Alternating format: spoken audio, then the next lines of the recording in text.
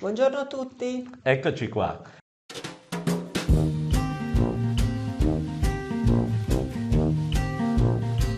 Problema di questa polmonite che viene dalla Cina. Beh, sapete che c'è arrivata una circolare del Ministero, Sì. quindi non è una roba letta sui giornali, è un vero allarme, fra virgolette, una segnalazione sanitaria, perché sono stati rilevati nel nord della Cina molti casi di una broncopolmonite, quindi di infezione bronchiale polmonare bassa, da un microbo che si chiama micoplasma. Il micoplasma non è una novità nei nostri No. studi, lo conosciamo molto bene perché può dare vari tipi di infezioni, tutte più o meno polmonari, ok? E sappiamo che si cura con una certa categoria di antibiotici, quindi noi sappiamo già che per esempio certe fasce d'età, quelle del Sì, bambino più sì. grandetto o certi quadri che sono sfumati in cui c'è magari un po' di fischio insieme, noi sappiamo che dobbiamo dare un certo tipo di antibiotico piuttosto che un altro perché può essere il micoplasma. Quindi qual è la particolarità di questa notizia? Perché se no che notizia è? È un microbo che c'è sempre stato?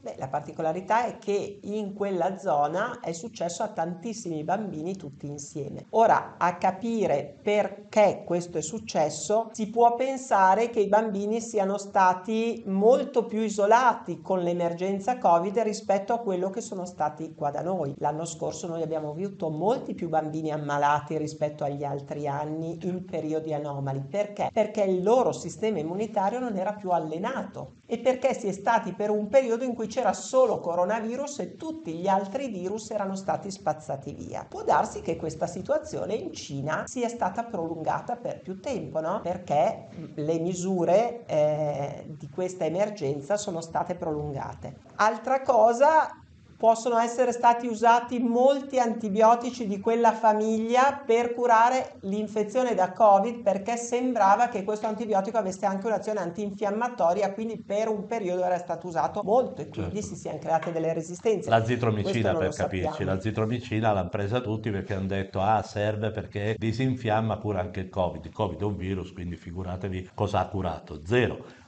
Però usala oggi, usala domani su ampie fasce di popolazione, alla fine stai in qualche modo selezionando il microbo che impara a non morire Certo. con quel farmaco lì. Quindi la cosa particolare è che sembra che la zitromicina in questi farmaci e in questi mh, eh, casi di polmonite non sia un farmaco adatto.